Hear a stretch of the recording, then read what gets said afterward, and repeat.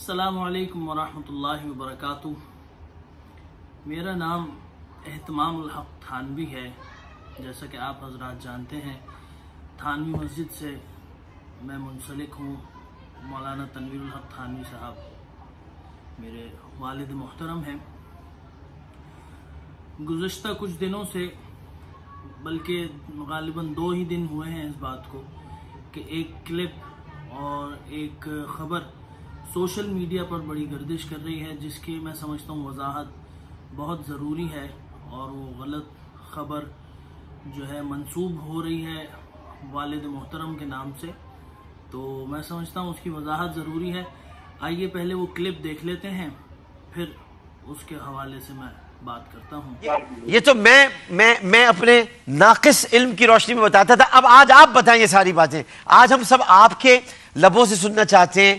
آپ کے شفتان مبارک سے سننا چاہتے ہیں۔ آپ بتائیے کہ کون لوگ ہیں جو دیمک کی طرح چاٹ رہے ہیں؟ کون لوگ ہیں جن کا پاکستان بنانے سے بھی واسطہ نہیں تھا اور جو آج یہاں پر دھرنے دے رہے ہیں؟ صاحب وہ کسی اور کی مصلحت ہو نہ ہو، مجھے اس سے کوئی بحث نہیں۔ میں تو میں تو ڈنکے کی چوٹ کہتا ہوں کہ یہ فضل الرحمان جو ہے جن کو مولانا بھی کہنا علماء کے لیے باعث شرم ہے یہ لوگ جو ہیں اور ان کے باپ بھی پاکستان کے مخالف تھے۔ اور یہ جس دیوبند کا نام لیتے ہیں اس دیوبند کی اکثریت علماء جو ہے وہ تو پاکستان کے حامی تھے۔ جی، جی، جی۔ جو مولانا اشرف علی تھانوی رحمت اللہ علیہ سے نسبت رکھتے ہیں۔ اور مولانا مدنی رحمت اللہ علیہ سے نسبت رکھنے والے اب اب مولانا اشرف موش- مولانا قطع کلامی کی معذرت مولانا اشرف علی تھانوی صاحب نے تو اپنے تمام چاہنے والوں کو ہدایت کی تھی کہ پاکستان جائیں۔ یہ پاکستان بن رہا ہے وہاں جائیں۔ یہی ایک اسلامی ریاست قائم ہو رہی ہے۔ اور میں یہ کہتا ہوں ڈاکٹر صاحب آپ کے لیے آپ آپ جیسا ذہین آدمی میں نے بہت کم دیکھے ہیں۔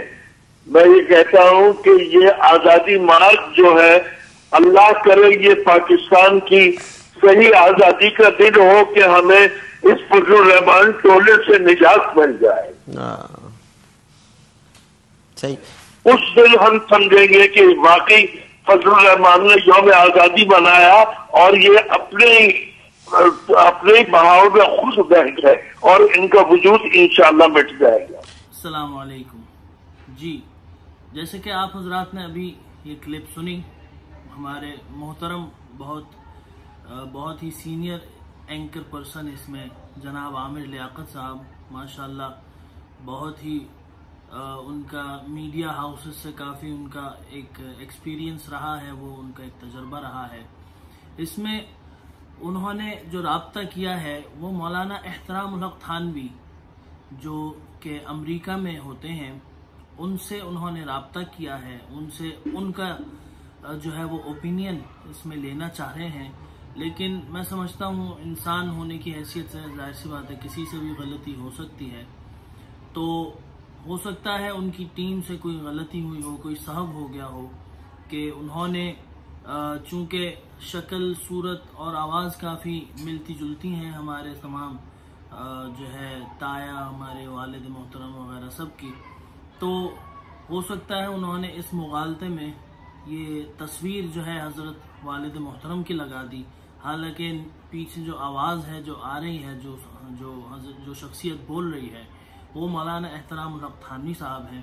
تو لہٰذا ہر کسی کی اپنی رائے ہو سکتی ہے، اپنی ذاتی رائے ہو سکتی ہے۔ مولانا نے جو بھی اپنی ذاتی رائے کا اظہار کیا، تو اس سے مولانا تنویر الحق تھانوی صاحب جو کہ میرے والد ہیں ان کا اس سے کوئی تعلق نہیں ہے، باقی ان کا اگر کوئی موقف یا ان کا اگر کوئی موقف ان کی کوئی، ان کا اظہار خیال کوئی سننا چاہے یا لینا چاہے، تو وہ حضرت کے پاس خود تشریف بھی لا سکتے ہیں یا رابطے کی کوئی بھی صورت جو ہے اس کو ممکن بنا کے وہ ان کا اظہار خیال جانا جا سکتا ہے۔